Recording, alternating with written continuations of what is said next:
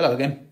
Today I've got this shed lock, dead common in the UK. Not sure if you have them over in the States, but we've got these on our garden sheds and we have them on our back gates as well.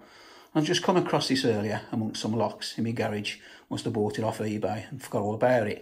And I've took the three screws out and had a look at the uh, mechanism inside. And it's so basic, it's untrue. There's only one lever in there. Now, I'm going to show you how to open this, just using a couple of nails. So you put your first nail in, just put a bit of tension on the bolt.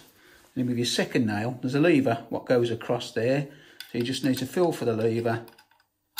And that's it, simple as that. Obviously, if the bolt doesn't slide all the way across, take that nail out, get your bent nail, put it in, and just finish it off. Simple as that. So we're going to open it up and have a quick look inside. There's nothing to it, it's dead basic. I just take these screws out.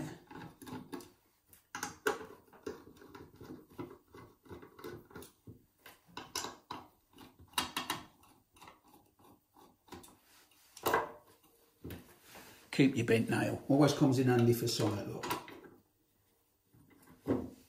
So inside, really basic. You got your bolt and you got your one lever. Press that lever down, it opens, as simple as that. So all I was doing with the nail, I was tensioning the bolt there, and then with the other nail, I just push the lever down. Simple as that.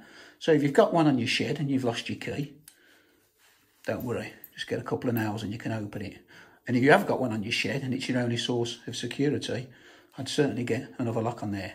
Well, that's it for now. As always, thanks for watching and I'll see you again next time. Try a bit.